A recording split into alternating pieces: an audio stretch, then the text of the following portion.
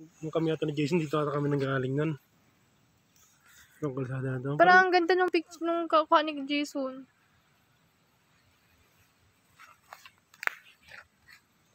Laki ng traktor. oh. Sa palay. Marunong ka niyan magdala? Oo. Parang sasakyan lang din yan.